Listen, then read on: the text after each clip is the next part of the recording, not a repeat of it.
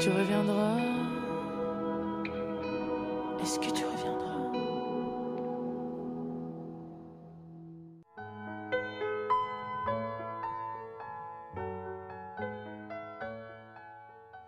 Hablar de pintura con Roberto es aprender muchas cosas.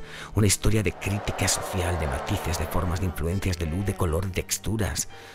Es amar al arte por encima de uno mismo, porque quizás, y en el caso de Roberto, ambos sean parte de un mismo ser. Yo he tenido que, o tengo que hacer muchos días eh, esfuerzos para sentirme igual que los demás.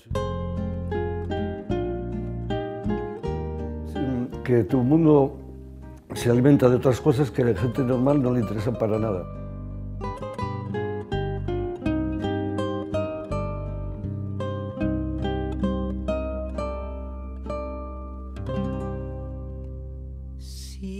Tienes un hondo penar, piensa en mí. Eh, sí, yo me preocupé mucho de, de mirar la luz y cómo la luz entraba en los objetos y cómo iba a las hojas y cómo iba a la piedra y cómo iba a la montaña. No ves que venero tu imagen. Mañana voy a empezar otra serie y voy a, a querer ser el mejor porque en esto si no hay ambición tampoco tiene ningún sentido. ¿eh? Y yo soy ambicioso, de verdad.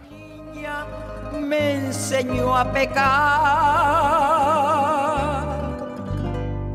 Piensa en mí.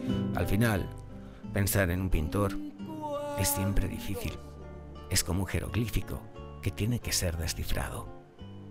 Hemos intentado descifrar un poco más a Horayo, pero Horayo es indescifrable. Lo único que se puede hacer es sentarse, contemplar lo que pinta y disfrutarlo.